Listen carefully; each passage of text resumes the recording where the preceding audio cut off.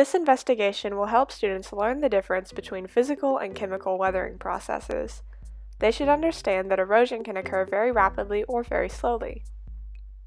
To demonstrate an example of physical weathering, students will fill an empty aluminum can with cold water, place it in a container with a flat surface, and leave it in a freezer for several hours.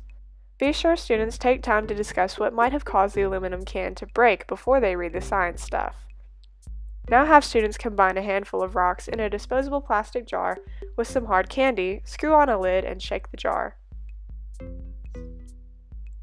After shaking several times, they should examine the broken pieces and describe them.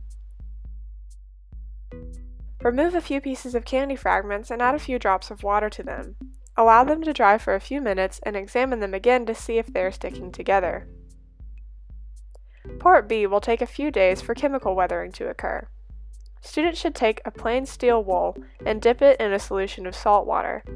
It should be placed in an empty plastic tub or other container. Over the next few days, continue to dip it in the salt water.